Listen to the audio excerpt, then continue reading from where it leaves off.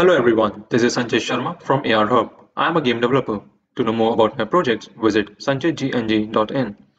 Now let's get started with Unity. The version we'll be using is Unity 2018.3. Open Unity Hub. Click on this new tab. If you are using directly Unity 2018.3, there will be a plus sign on it. Just click on it. Create a new project. Name it. Choose the location or let it be default. The project we will be creating should be 3D. Click on create. I won't be doing it because I already have one. I'll be opening this project. After a minute, minute or so when a project is loaded, you will be on this screen. Now let us get started by creating something. But before that, we must know the interface of Unity. Unity basically comprises of four windows. This is the project window. This one. This is the hierarchy window. And this is the inspector window. And the fourth one here is the toolbar. There is an additional window, the game window. We'll be talk about it later. So everything that's within the scene here in this 3D space of Unity will be in the hierarchy window. As you can see, currently there are two things, the directional light and main camera. Main camera to render our scene in the game view and directional light to give some light into the 3D space. We can turn it off with this uncheck button. Now the inspector window. Every property of the object, game object, we generally call it game objects that are in the scene view, is being shown on the inspector window. For example, when the camera is selected, every property of the camera is shown on the inspector window, the transform, and some other properties, which we'll talk about it later. The project window, every file in our game or every file in our project we'll be working on is put up in the project window. And every file that is currently in our scene is shown up in the hierarchy window.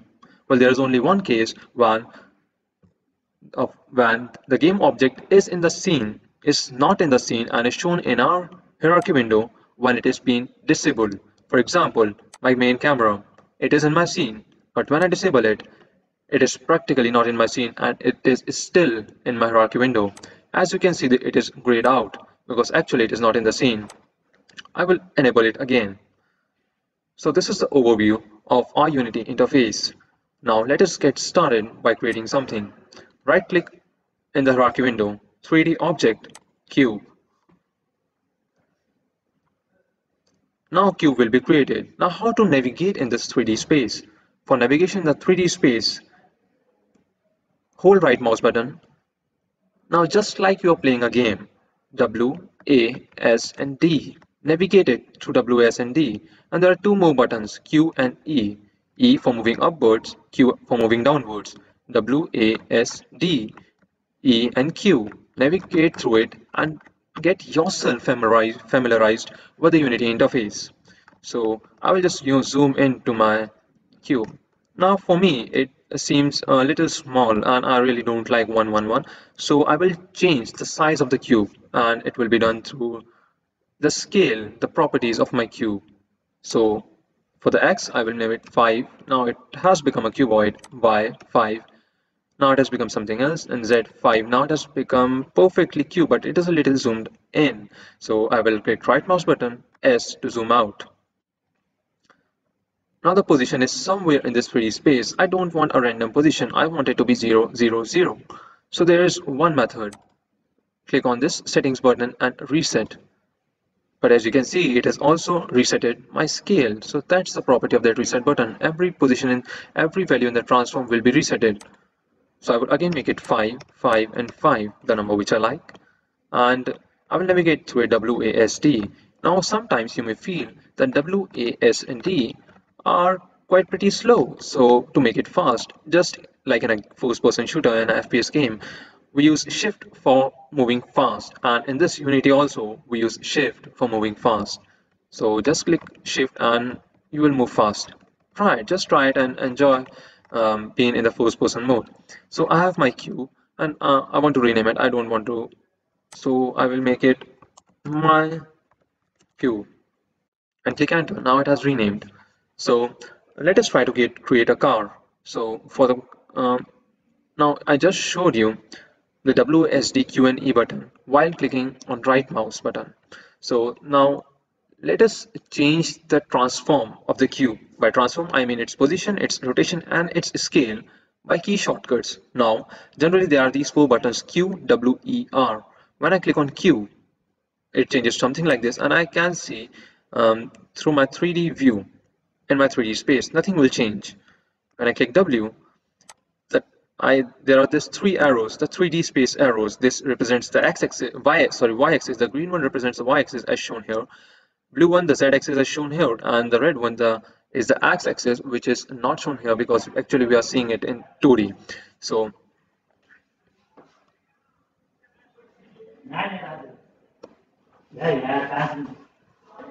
so we'll change the transform. And special uh, by transform i mean the position. So shift somewhere it like this. I am left clicking on the axis and shifting it. You can see the position on the z-axis here is is altering live and somewhere the x-axis and the y-axis try shifting a cube. And there's another button E. Well with this I can rotate it. So with the left click I will rotate it it's on x-axis another axis and another axis to give it somewhere like a like a diamond oh I don't know what is it but somewhere different shape okay? And now you can see that the position is already changed now the rotation has already uh, has also changed and we changed the scale in the first place only. Now how to change the scale with using a shortcut? So there's another button that is R. Click on it and it will change into scaling mode. Left click on any axis you want to expand and just like this okay? And it, you can expand it. So I have expanded my cube. I will zoom out by right clicking and S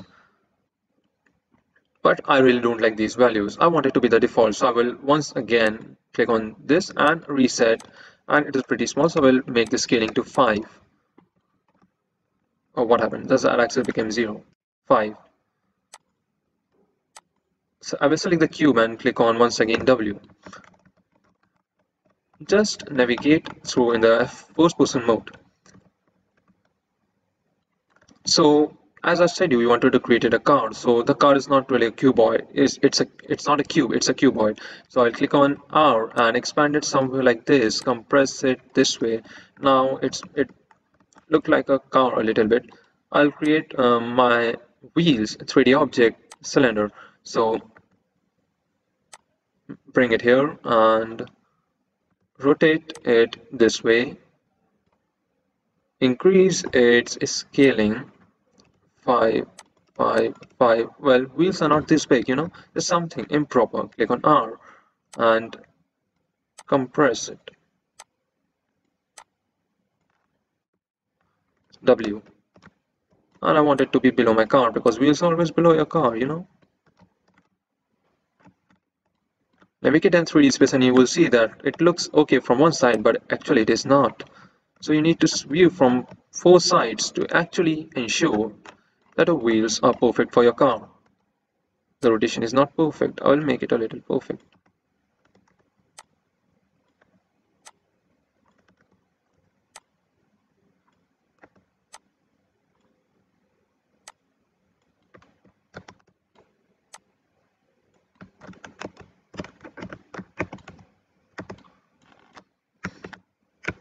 Now I will just fast forward it to make my car.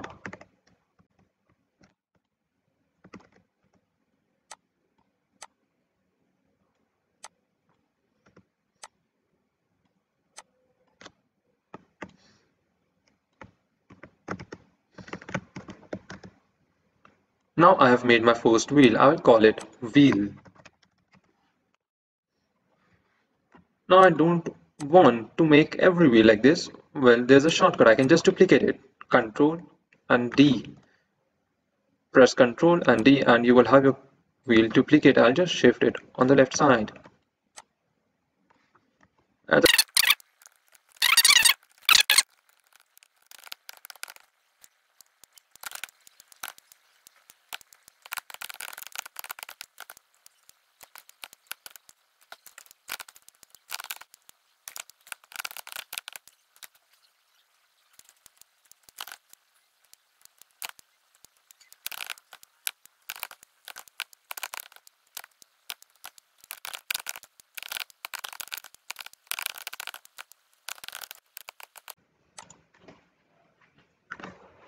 Now here is my car. Now, as you can see, it is many different entities and I really don't want my car to have these different entities. I want my car to be a single entity. Now, for that, I can do it like this. Right click, create empty game object. I'll rename it, rename it car. Now, control, press control and select each of your car entities drag it onto the onto your car empty game object. And all these are now childs. And you, on this empty game object is your parent game object. Now the one thing that I forgot was to reset its transform position. Now my car game object is a single entity and when I now move. The whole car moves. Now let's get to prefabs for creating the prefab of this car, I will just left click and drag and down into my project. Now what is this? Now this car, the car I created has no physical presence. It was just in my scene. Now when I dragged it into my project window, now it is physically present on my disk on my hard disk and when you will just go into the Windows Explorer into the uh, project folder and there will be a folder named assets and to the assets there will be a prefab named car and so it has its physical presence now. Now what is the importance of creating a prefab? Well when I want to create 100 cars I can just drag and drop like this like this. But for now I don't want it so I'll just delete it. And the relation of prefab and its instance is like a parenting relationship. The changes I will be I will make in prefab will be reflected back onto the car. But the changes I will make onto this instance of the car that is in the scene will not be reflected back in the prefab. Well, it's a one-way relationship. This car in my scene depends on the prefab, but it's actually not fully dependent on it. I can alter the properties of this car. As you can see, I can change its size, X, scale, X, Y, and Z, and the prefab hasn't changed. The prefab still has that old car. But if I change something in the prefab, this car will be changed. You can try it on. For now, I'll have my car only.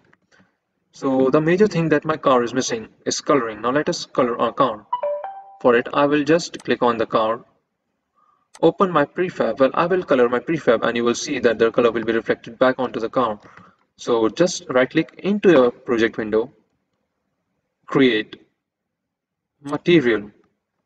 I will name it red because I will be making it a red color. Click on this albedo.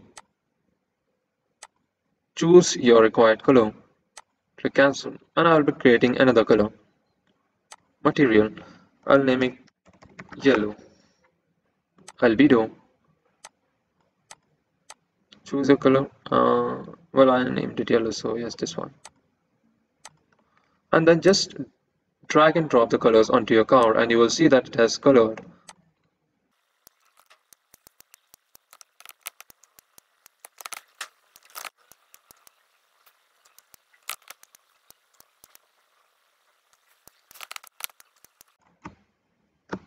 Now you will see that my car is ready. I'll get back to my scene by clicking this arrow. And all of my changes in the prefab were reflected back onto my scene. Well, that's good. Now I want you to create a street scene. It will have a road, it will have street lights, and it will have cars. And prefab the street lights, prefab the cars, and just drag and drop from a prefab. Well, I'm just creating mine and I'll fast forward it, but I really want you to create it.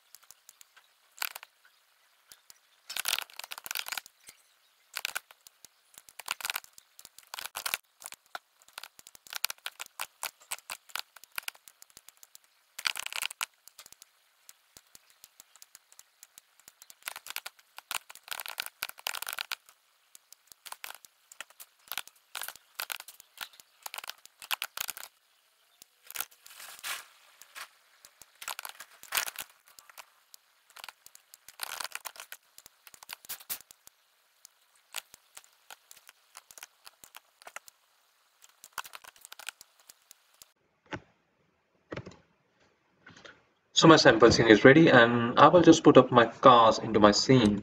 Well, I've created one and it's okay. You can create as many cars as you want. My car is really big. I will scale it down to 0.5.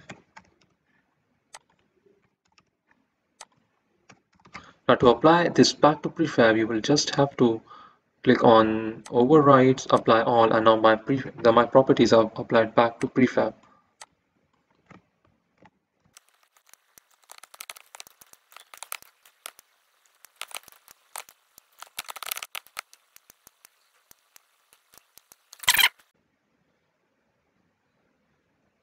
Now that's it for now. I really want you to create a street scene, put in up your all your efforts, all your passion into creating this street scene. Well, I have just uh, made it uh, temporary, but I have really uh, used the metallic colors for the street lights uh, and something uh, plasticky colors for my roads. Now you, you, can see the difference and I really want you to uh, just tweak the settings that you want. Don't uh, be afraid of anything. Just tweak the settings and create your street scene. Put your love into it. Uh, create a beautiful street scene that you would uh, really want to work on. And we'll see you in the next one.